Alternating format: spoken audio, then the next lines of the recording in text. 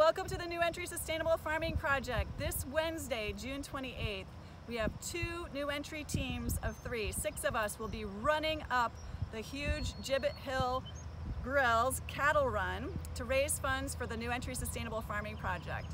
We hope you can click on the two links below and support our runners as we run to support our farmer training, our food hub, and our national programs. We do this once a year. It's a fun race. We're really excited that the Gibbet Hill uh, Grill is sponsoring New Entry Sustainable Farming Project and we look forward to your support to help us raise money for our two teams. Thank you.